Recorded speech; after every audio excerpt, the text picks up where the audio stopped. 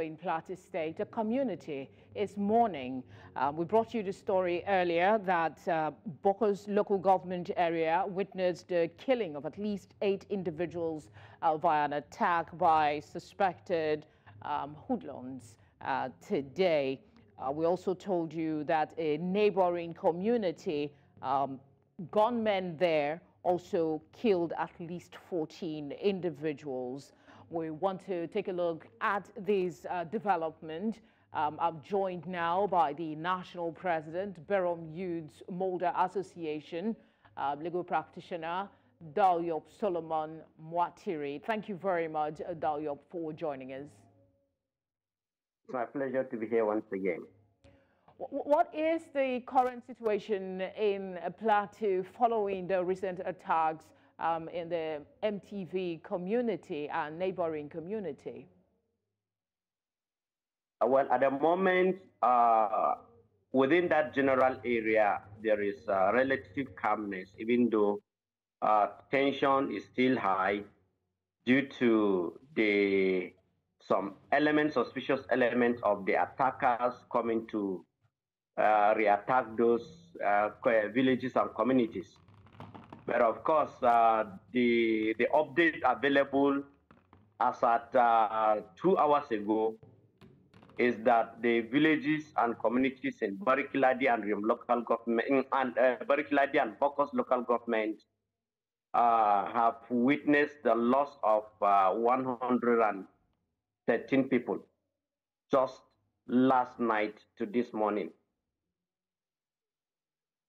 That's quite unfortunate. Um, how effective, uh, we, we saw in an earlier report the commendation of troops. Um, no doubt they're doing some work, but how effective are those that have now been deployed uh, to secure the affected um, area, to your knowledge?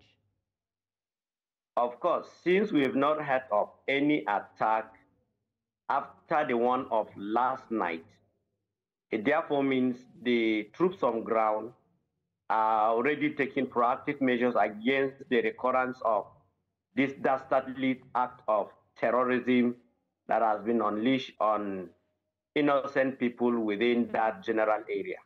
And of course, uh, the, this wouldn't have come by magic, but it's because of the deliberate and proactive effort of the uh, GOC, who doubles as the Commander Operation Safe Haven, in person of General A.E. Abdul Salam, who has been up and doing.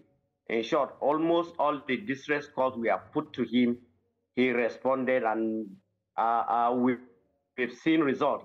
Because I, I remember last night at about 10 p.m., some of the escapees who encamped in one of the villages were crying out for uh, rescue and immediately, I personally placed a call to the GOC, and within some short minutes, a few minutes, uh, the escapees called me that indeed security have come for their rescue.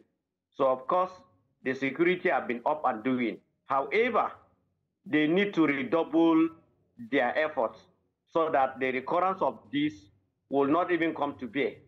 Because of course, there are areas that security couldn't reach. And it's because of the poor road network. And then, of course, the distance, you know, before reaching out to where those distress calls are coming from.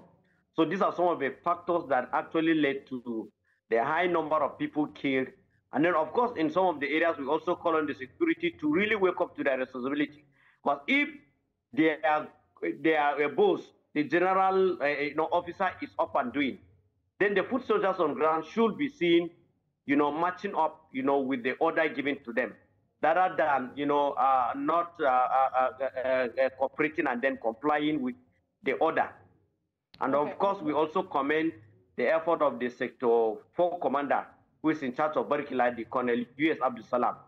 That man has also been doing wonderfully well. Otherwise, you know, uh, there would have been high number of casualties recorded than what we already have. I mean, how concerned are you about the welfare of these communities that have been affected by this renewed violence? Um, is there any assistance that's been provided uh, to them, uh, to your knowledge, especially this period that is supposed to be festive?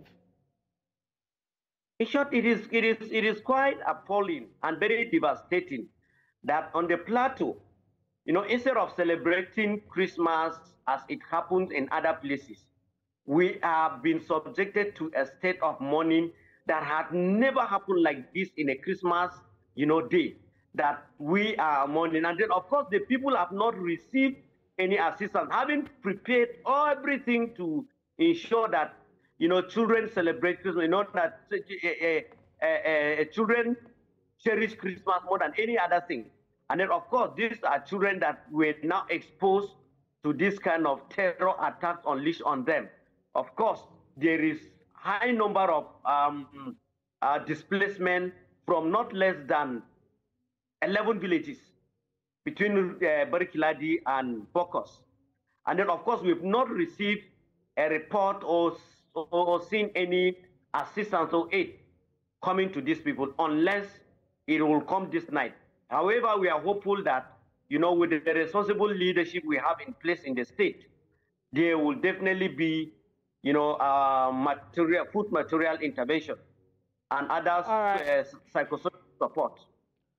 All right, Dalia, thank you very much for speaking with us, and uh, I'll share your hope as well that some assistance gets to the community. Thank you. Thank you.